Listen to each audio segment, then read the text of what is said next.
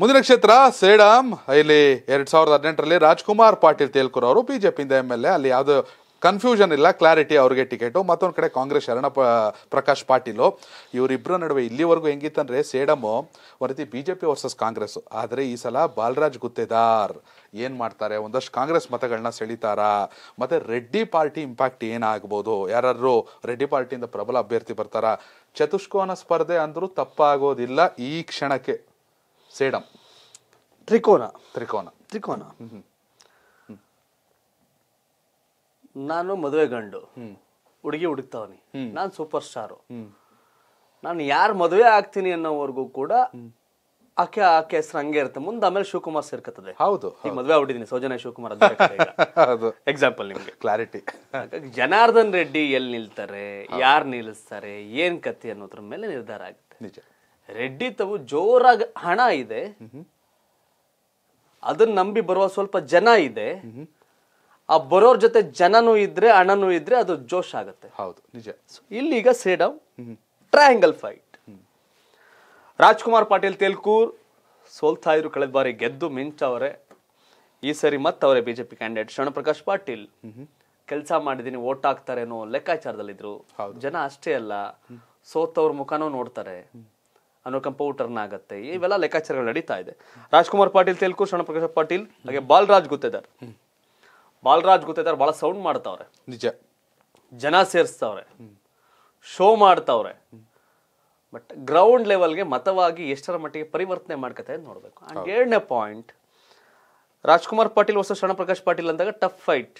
ಅವರೋ ಇವರೋ ಅನ್ನೋದು ಇರೋದು.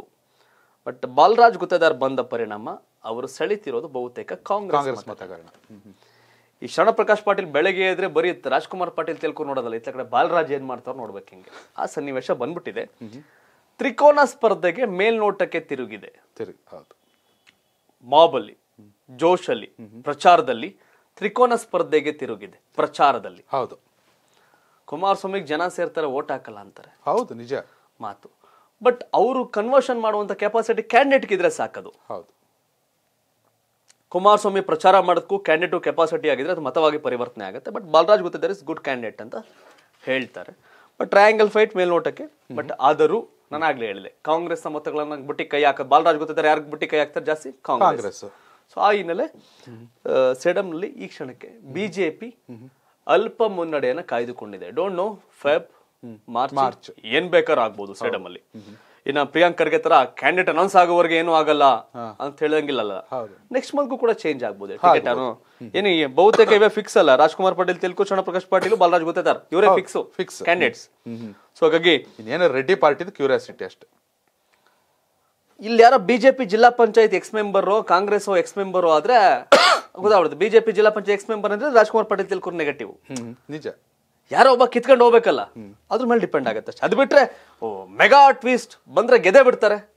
Never ever ಹೌದು. ರೆಡಿ ಗೆಲ್ಲಲ್ಲ. ಬಿಜೆಪಿ ಜಿಲ್ಲಾ ಪ ಎಕ್ಸ್ ಜಿಲ್ಲಾ panchayat member Reddy party candidate ಆದ್ರೆ ಬಿಜೆಪಿಗೆ ಡ್ಯಾಮೇಜ್ ಆಗ್ಬೋದು. ಹೌದು. ಆ ಕ್ಲಾರಿಟಿ ಸಿಗತ್ತಷ್ಟೇ ಕಲ್ಯಾಣ ಕರ್ನಾಟಕದಲ್ಲಿ ಬಹುತೇಕ ಬಿಜೆಪಿಗೆ ಅಂದ್ರೆ ದಶಕಗಳಿಂದ ಫ್ಲಾಗ್ ಕಟ್ತವ್ರು ಫ್ಲೆಕ್ಸ್ ಹಾಕ್ತವ್ರು ಟಿಕೆಟ್ ಆಕಾಂಕ್ಷಿಗಳು ಯಾರಿದ್ದಾರೆ?